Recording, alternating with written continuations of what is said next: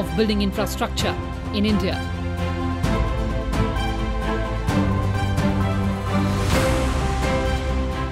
Fifty-three thousand kilometers of national highways added in last nine years.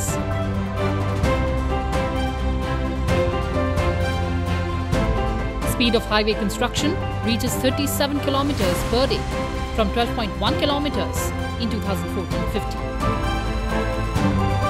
Rural road connectivity increasing to nearly 99% coverage. 3.28 lakh kilometers of rural roads built since 2014.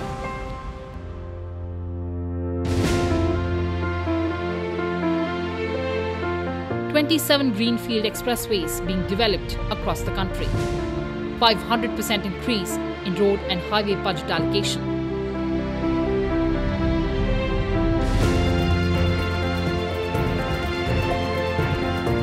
Seventy-four airports operationalized since 2014. Length of metro increased from 248 kilometers in 2014 to 860 kilometers in 2023.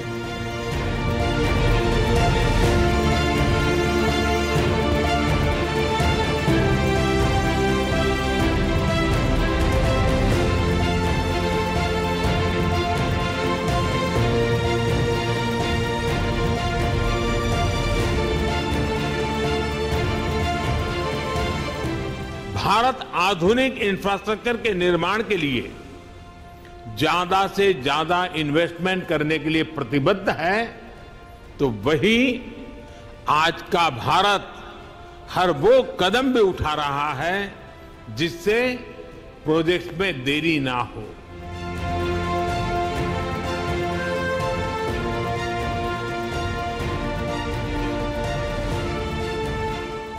Did you know that for every rupee spent on infrastructure, there is a 2.5 to 3.5 rupee gain in GDP?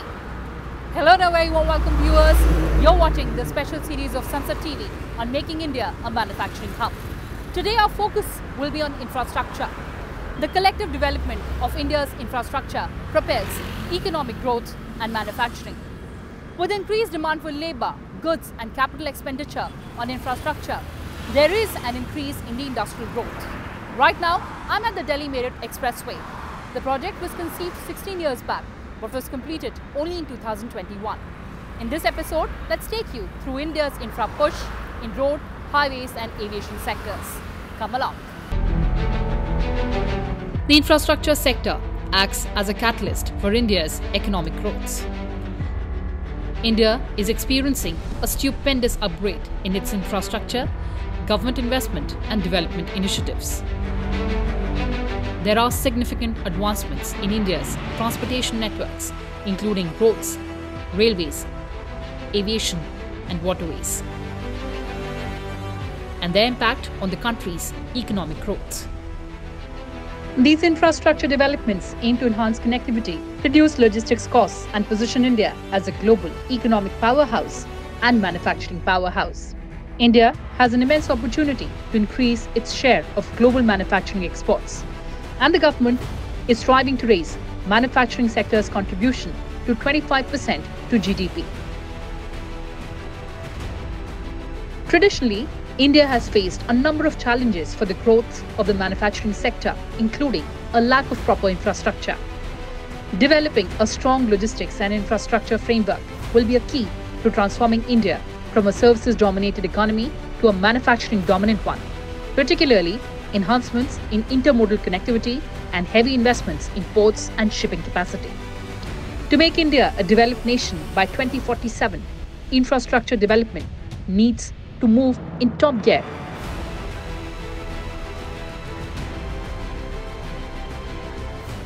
The Make in India program is a mission where the country is committing to make Indian companies multinational. Present government has done after coming in is brought in a sense of cleanliness to the administration and there is a sort of direction that is available to see where we need to go.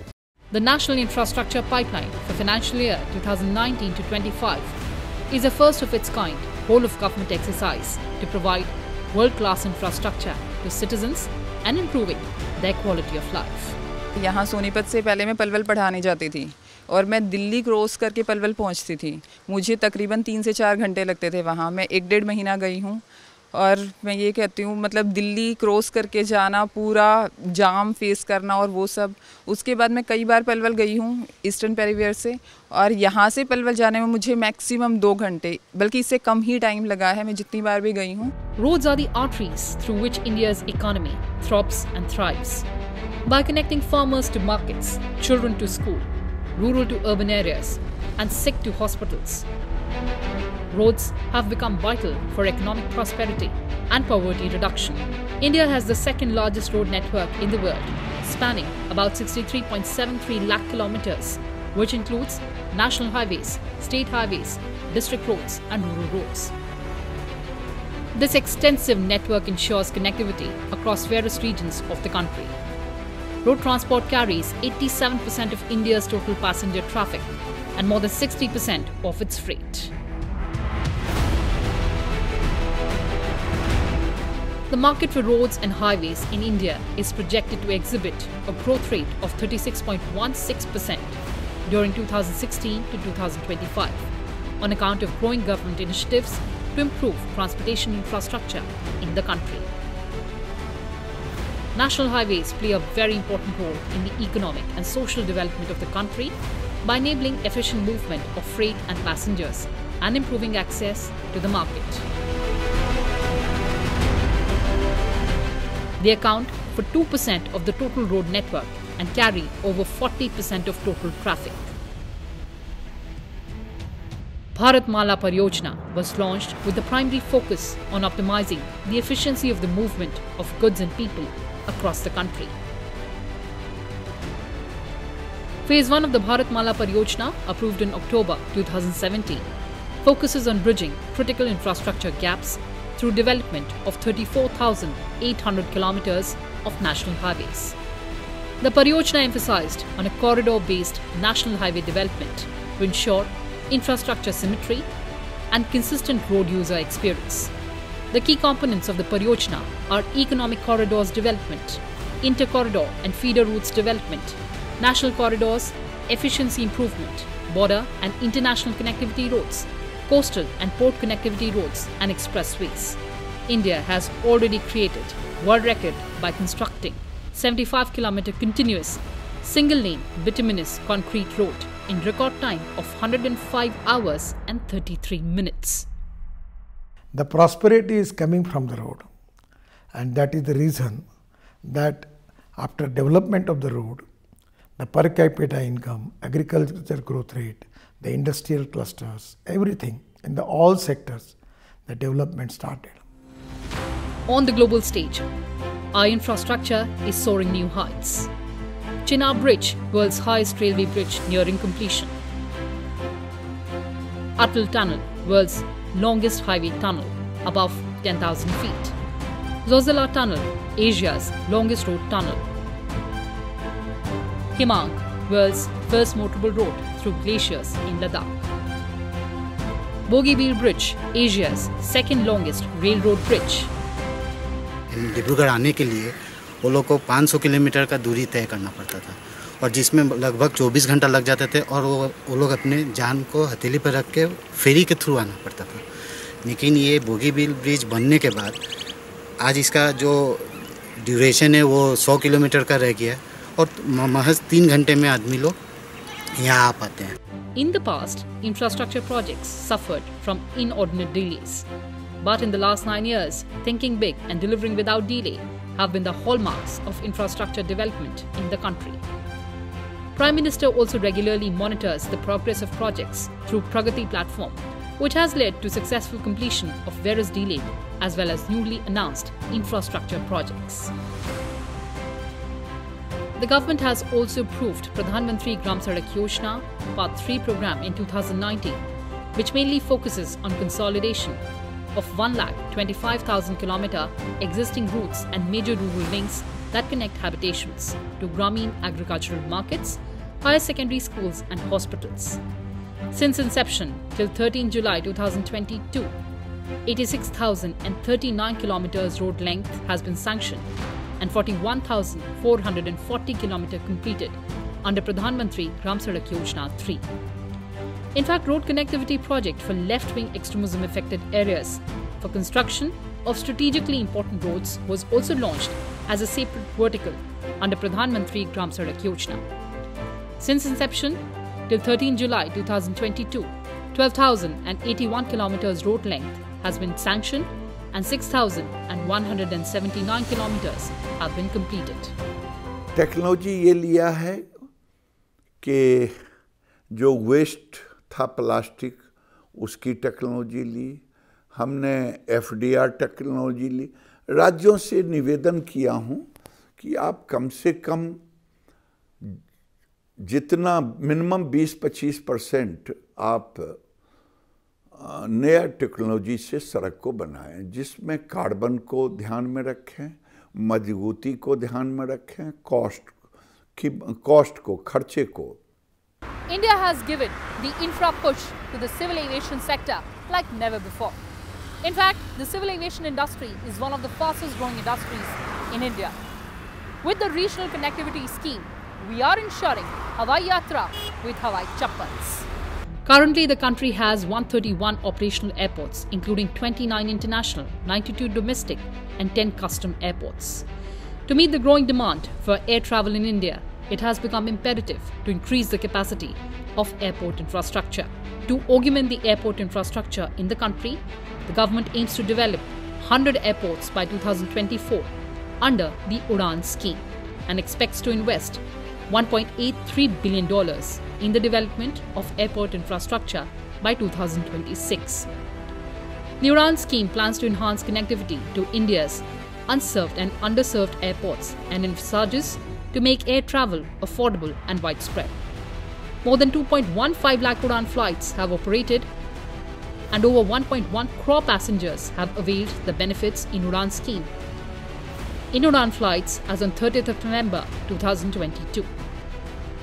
India is the third largest domestic aviation market.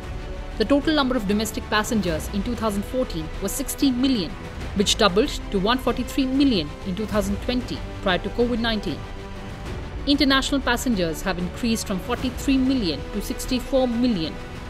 And in terms of aircraft, the numbers have increased from around 400 in 2014 to 723 in 2023, despite the impact of the COVID 19 pandemic.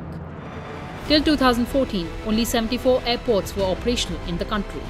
By 2023, the government operationalized another 74 airports and heliports and water aerodromes. During the last nine years, 11 more greenfield airports have been operationalized. manufacturing has tremendous potential in our country. Uh, but for that, in any country, uh, civil aviation needed to achieve scale. We have now achieved scale in India. And I think the time is ripe to put in place and concentrate not only on airlines and airports, but to concentrate on the full ecosystem of civil aviation. And that civil aviation ecosystem entails FTOs, flying training organizations, entails helicopters, entails ground handling, entails MRO, entails manufacturing. And as far as manufacturing is concerned, I think again Prime Minister's vision of Atmanirbhar Bharat, uh, make in India but make for the world. I think that transformation has happened over the last eight years. The very fact that today Boeing, uh, along with Tata and other companies, have multiple facilities in India, export goods over a billion dollars made in India. Uh, Airbus uh, exports goods worth roughly about 650 million dollars from India. One of the largest MRO majors, Safran, uh, is putting in place a 150 million dollar facility in India for their CFM LEAP engines. Not just in the northeastern region, the government also focused on developing connectivity across other state borders with its Act East policy. Aimed at promoting economic cooperation, cultural ties, and developing strategic relationships with countries in the Asia Pacific region, the policy was actually part of PM Modi's vision for Northeast India, a vision aimed at developing Northeastern India as a gateway to Southeast Asia. Over the last nine years, more than 3.84 lakh crore have been spent for the development of the northeastern region. In this nine year period, 195 projects worth 15,375 crore have been sanctioned under multiple schemes. The major ongoing road projects in the northeastern region are four laning of Dimapur Kohima Road in Nagaland, Nagaon bypass to Holongi in Arunachal Pradesh, alternate two lane highway from Bagrakot to Pakyong in Sikkim, two laning of Aizawl and Tuipang in Mizoram, four laning of Imphal Moreh section, and 75.4 km of two laning in Manipur. There's also a big boost to aerial connectivity in northeastern states. 18.45 lakh domestic and 1.04 lakh foreign tourists visited the northeastern states during the year 2022. 16 airports are being operationalized in the northeastern region under the Udan scheme. Airports in five northeastern states of Mizoram, Meghalaya, Sikkim, Arunachal Pradesh, and Nagaland have seen flights take off for the first time in 75 years. This move will boost the socio-economic development of the region with a good connectivity network with other parts of the country. Tourist footfall will increase in the region. It will also create unprecedented employment opportunities. पहले तो connectivity नहीं थे road नहीं थे, train नहीं थे flight ठीक तरह से कब चलता पता नहीं। बैंकर्स के साथ मीटिंग हुआ है। आईडीबी बैंक के साथ मीटिंग हुआ है। जयका जयका के साथ भी मीटिंग किया है। वो लोग भी ऐसे प्रोजेक्ट्स भी फाइनेंशियल असिस्टेंस देने के लिए निर्णय किया है। वैसे ही हम hundred places tourism view points tourism ministries और डोनर मिनिस्ट्री के द्वारा हम बनाने के लिए प्रयास किया है। It is said that futuristic urban planning will determine the fate of our cities in Amrit Kal. There has been a massive push on infrastructure development, even in Tier 2, Tier 3 cities, with focus on housing for all and metro connectivity. The construction industry in India consists of the real estate well as the urban development segment. The real estate segment covers residential, office, retail, hotels, and leisure parks. United Nations projects India's population to be 1.64 billion by the year 2047, of which nearly 0.82 billion shall be residing in urban areas. One of the leading recipients of FDI in the country is the construction sector. Government has launched three flagship schemes aimed at changing the face of urban India. Smart Cities Mission, Atal Mission for Rejuvenation and Urban Transformation, and Housing for All. Against the validated demand of 1.12 crore houses, as on 13th of March 2023, crores of houses have been delivered under both Pradhan Mantri Awas Yojana urban and rural to the citizens of India. Amrut has been ensuring water security by adding 1.1 crore household water tap connections and 85 lakh sewer connections, thus benefiting more than 4 crore people. Smart Cities Mission, launched in 2015, is aimed at providing core infrastructure, clean and sustainable environment, and a decent quality of life to the citizens. Through the application of smart solutions, 100 cities have been selected through two-stage competition to be developed as smart cities. The government has also focused on the metro rail transformation to deal with the problems of rapid urbanization and rising population. Before 2014, only five cities in India had a 229 kilometer metro network. And by April this year, 860 kilometers of metro rail network is operational in 20 cities. Together, what you are talking about 20 cities is going up by the day. We have more than 860 kilometers already operational, but more than that, we have another 1000 kilometers in advanced stages of construction. So we have timelines. What are those timelines? Those timelines are you approve phase one, phase two, it will be delivered on time. By and large, the projects are being done within the timelines, within the budget estimates. The PM Gati Shakti National Master Plan was launched in October 2021 with a vision to enable a mechanism for coordinated planning and to provide a bird's eye view of plan development to all the ministries for holistic and integrated development. It envisages establishing integration and synergy amongst different infrastructure sector projects. Bharat को आधुनिक infrastructure के साथ ही infrastructure निर्माण में holistic approach integrated approach अपनाने की बहुत जरूरत है To boost the ease of doing business and enhance livability quotient, government also launched the National Logistics Policy to lower the cost of logistics from the existing 13 to 14 percent and lead it to par with other developed countries. This will increase the competitiveness of Indian products in both the Indian market and the international market. The government also announced an Urban Infrastructure Development Fund to create urban infrastructure in Tier 2 and Tier 3 cities with outlay of 10,000 crore per annum. India has also taken a systematic approach to create a robust PPP program, that is, public private partnership for delivery of high priority public utilities and infrastructure. With close to 2,000 PPP projects in various stages of implementation, India's program is one of the largest in the world according to World Bank. Moving forward, the most critical task for India will be to balance its efforts towards a big push in infrastructure investments and create an enabling environment for successful implementation and timely completion of these projects. Redemption of these complementarities in infrastructure development can be instrumental to India's realization of its growth potential, that is, the third largest economy in the world. Well, viewers, that's all I had for you in this edition.